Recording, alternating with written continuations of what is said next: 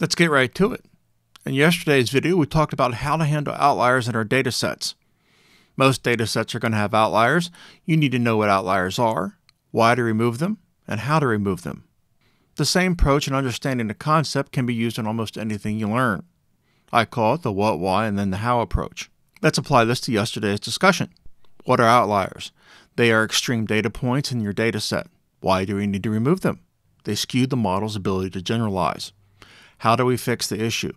We said yesterday a solid approach would be to use three standard deviations away from the mean. Let's try this with another machine learning concept. What is overfitting? Overfitting is like learning through memorization. Rather than understanding the concepts at play and making generalizations, you simply recall what you've seen before and find the closest thing to what you already know. Why do we need to guard against overfitting? Because overfitting can significantly alter the model's performance. How do we correct overfitting? One approach is to use a resampling technique. That means you're going to need to know what the resampling techniques are and how to use them. A solid interview answer would be I use k-fold validation. It's the gold standard in resampling. I like to use k-folds with a fold increment of 5. You now understand the what, why, and the how. What is it?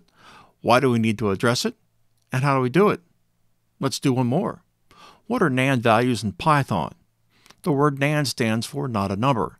NaN values are placeholders for missing values in your dataset. You've answered the what. Why do we need to handle missing values? Many machine learning models can't model a dataset with missing values, and missing values can skew the model's results. You've answered the why. Why do we need to replace them? Lastly, let's tackle the how. A common approach to handling missing values is mean value imputation. This simply means replacing those values with a mean or the average value in that feature.